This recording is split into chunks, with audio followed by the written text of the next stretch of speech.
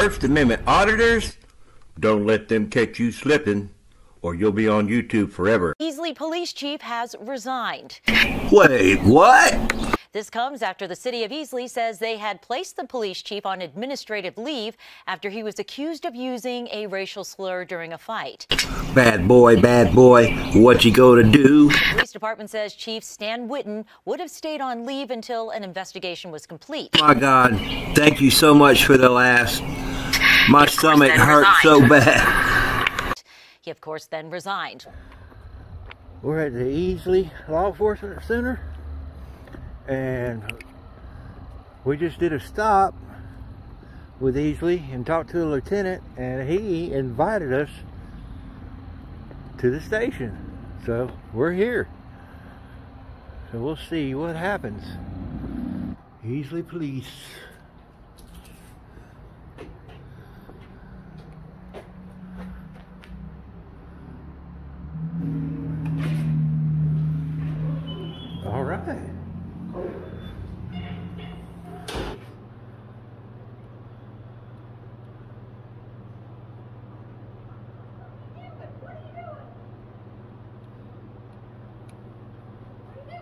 Just getting all your communication. Why? I can see it. Is this public right here? Is this public? Well, I can see it from public. You have to hide it. All of it. So you should tell. Anything I can see from public, I can film. That's the law. You should tell them that they need to rearrange this. But I'm not trying to give you We're trying. time. We're trying to help you out. Yeah. Well, yeah. This y'all should black this out or something.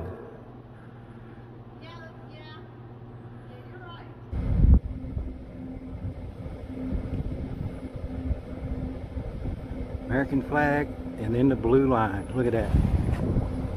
One year later.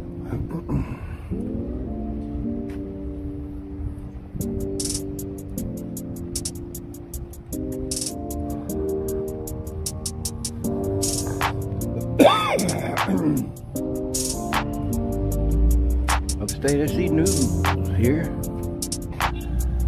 Here in Easley, South Carolina. And we're fixing to do a revisit Easley Police Department.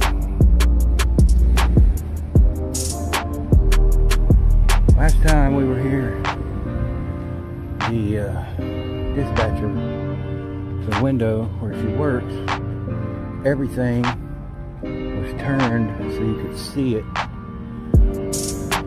All the monitors, computers, everything. We told them they needed to black it out turn everything around. I'm just wondering if they did it.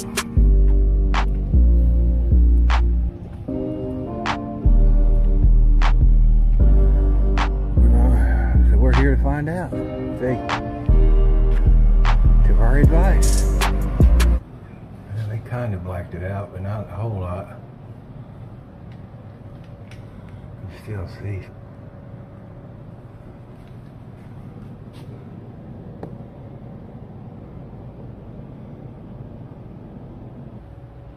All right. Hey, how you doing, sir? Hey, how are you? Good. Blessed beyond belief, man. Me too. And you are? Chief, Stan Whitten. Oh, you're the chief? Sir. Well, great. I was just talking to this young lady here. I was here a year, about a year ago, and the glass over here was just like this. Yeah. And I said, you know, you should darken that or turn it around. And I see you did that, which is great. Good. But now I was asking her if you have complaint forms. Do I have complaint form? Mm-hmm. Uh, I have a complaint here. What can I help you with? What do you want to complain about? I don't want to complain. Oh. I was asking if you have the forms. Uh, I don't know if have official forms. So what is your complaint process? She was telling me you, I have to do that and then talk to a sergeant or whatever. depends what you want to complain on. Well, if it was an officer.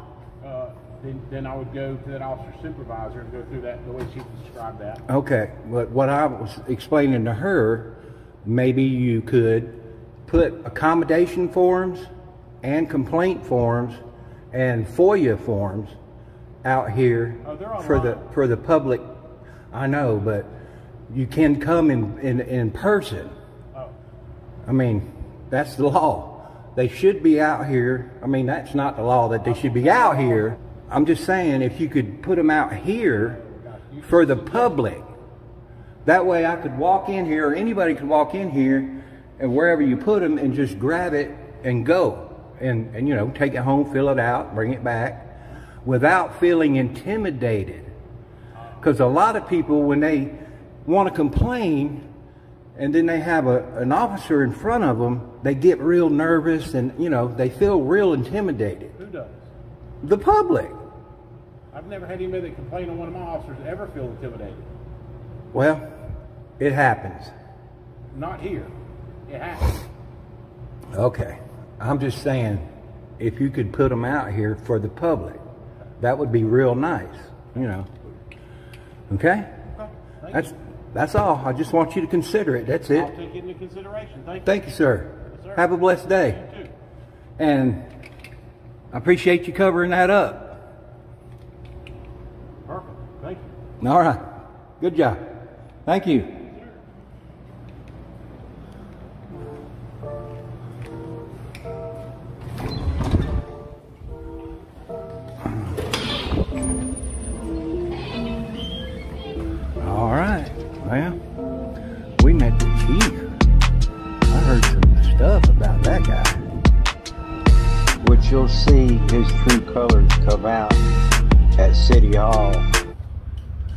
This is the mayor's vehicle.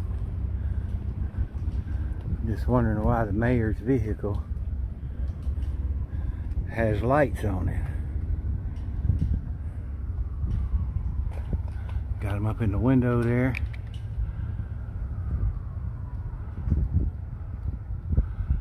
See it?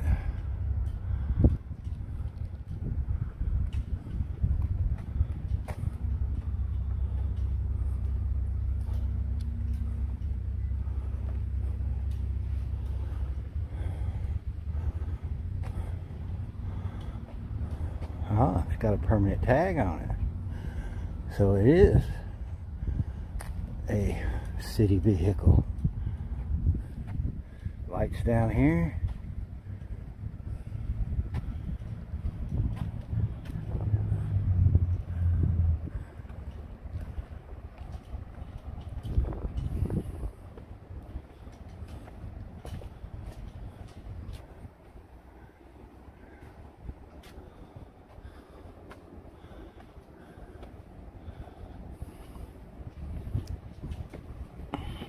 How you doing?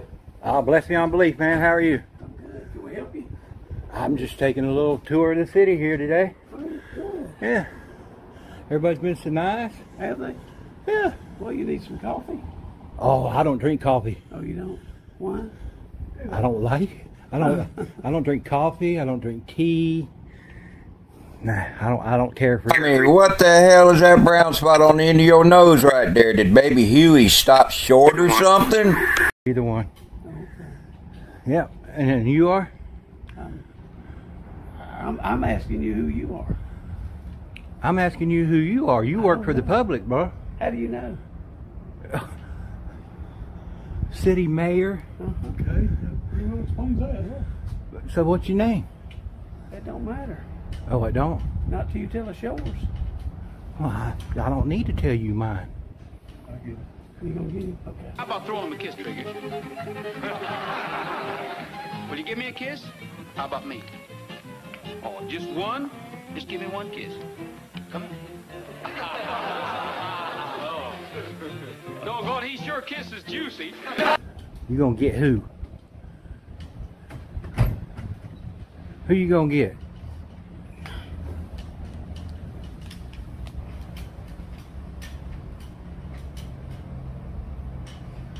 And what are you gonna get them for? Hmm? He's going to get you something. Oh, he is. Let's find out what he's going to get. Yeah.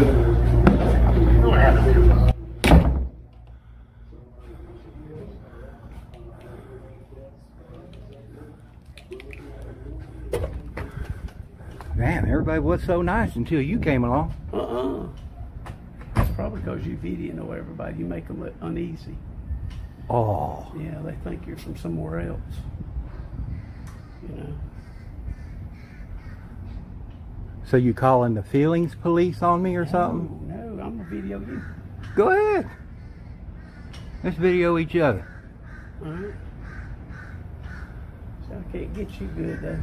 I don't care if you video me, man. Okay. That's your First Amendment right, It brother. it? It sure is. Yeah. So, who you calling to get get him? Get me? Is that what that means? No, no.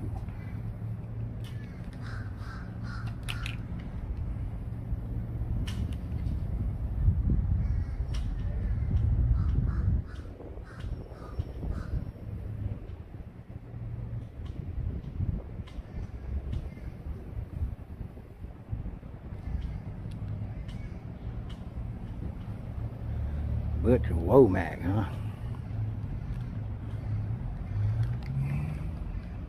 There we go. Thank you. Appreciate you. Yeah, I'm sure you do. Let me ask you. Let me ask you a question, there, Mayor.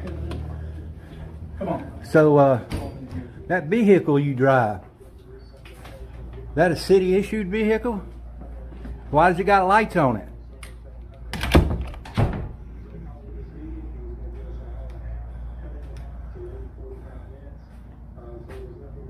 I didn't figure he'd answer that.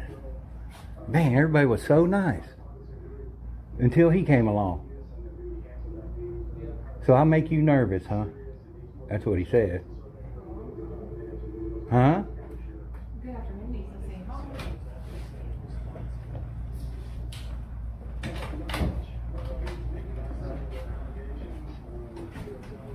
How are you, sir? I'm good. You want a complaint box up here too? No. You sure? Yeah, I'm sure. Okay. Just make sure you don't Everybody in here, everybody in here was so nice Good, good. until he came along. Okay. So I'm just wondering what the problem is. There's no problem. Then what are you doing here? City hall, I work here. Well, don't you work over in the other building? Sir, I work for the city of Easley. All, all I know that. miles of it. I mean, what what's your problem, man? I don't have a problem. Well, you came out like you had a problem. I thought you were breaking in my car.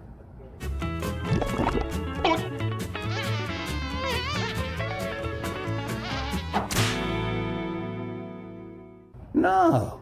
I was looking man. at it. So is that your car or is that a like city car? breaking in it.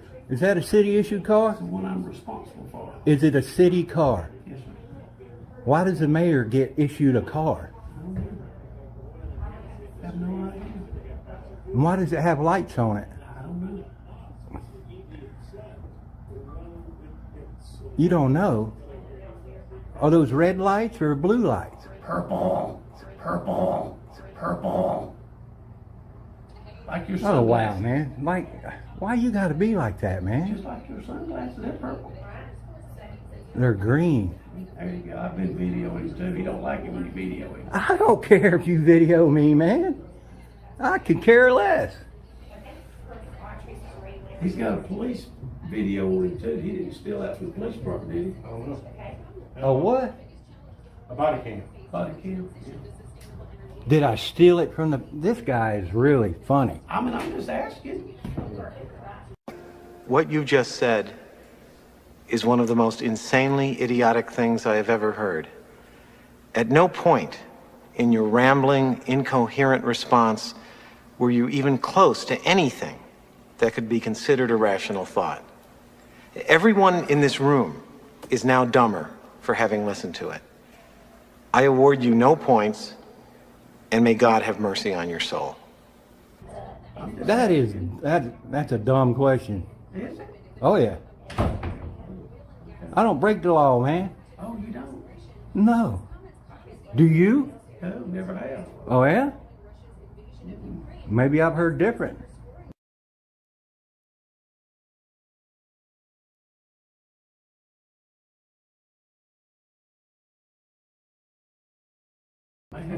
Maybe I've heard different about you. You don't have a clue who I am. but I squeak. I'm squeaky clean. Wow. Hey, sir, how are you? Hey, brother. Everything was good until Walmart came along. Wow. And who are you, sir? What's your name? You work for the public, don't you? You're supposed to identify. I guess that's the law you know also. You remember you knew laws when you were down at the police department a while ago, and I showed you you didn't know the laws? No, you, that? you didn't show me nothing. I told you. You didn't show me or tell me nothing. Well, let me remind you, you don't know the laws that you thought you knew. Uh huh. What law was that? The law that I needed to put forms in my I didn't say that was a law. We're in compliance.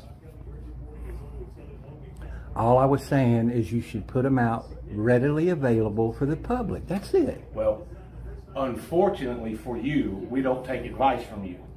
Because you won't identify yourself who you are, first of all. Well, you covered the window, didn't you? So So, wasn't by your by, by your choice. oh, I bet it'd still be like that if I hadn't come in Uh, and the pointed it out to them. You're the savior. You thank you for doing that for us at the police department. Well, you're quite welcome. Appreciate it. Wow.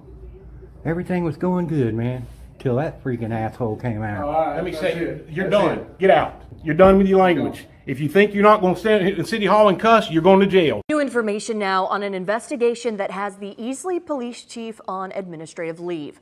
We just received the incident report that has more details about an alleged fight over the weekend at Lake Keowee involving the chief. WYFF News 4's Peyton Furtado has been working on this story all day. And Peyton, what have you learned in the process?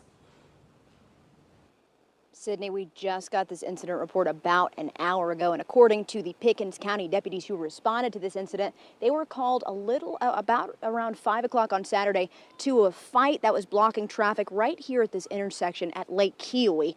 The report witnesses and those involved said Stan Whitten, the off-duty police chief, was blocking the road, and a truck with a trailer and boat came up behind him and told him to move.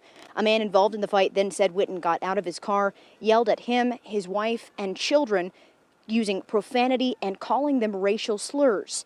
This man got out of his car and he, along with others, started to push Whitten. That's when Whitten said a man hit him. Other witnesses say no one hit Whitten, but he fell after turning around or he was pushed.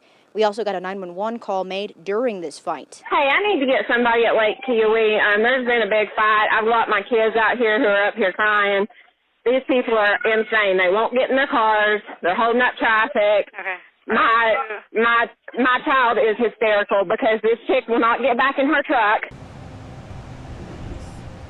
As deputies interviewed Whitten, one said, quote, I did notice a strong smell of alcohol coming from Whitten's person and inquired if he had been drinking. Whitten stated he had had a few beers. His demeanor throughout the investigation suggested he had had a considerable amount of alcohol.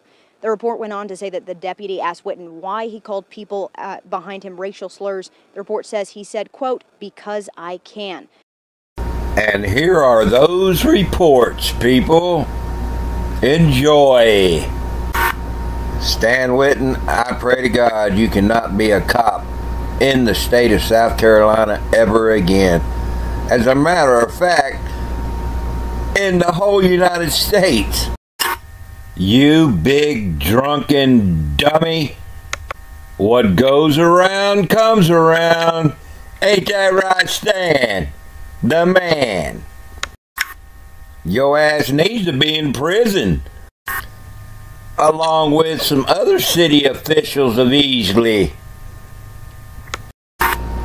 People of Easley, you have got to boot Baby Huey Butch Womack. Tommy Holcomb, that guy you like to call a city attorney. Oh, isn't he a divorce attorney or something like that? And that building inspector guy. Oh, let's see, isn't his name like Travis? Yeah, the one that's dumb as a box of rocks. He got to go too. And I'm sure there's a few more I'm probably forgetting about. But that's a start. And your fair city will be well on its way in a better way. Yes, indeedy. Get out of here. You're done. It's free speech, bro. Okay. Free speech. I'm about to show you free speech.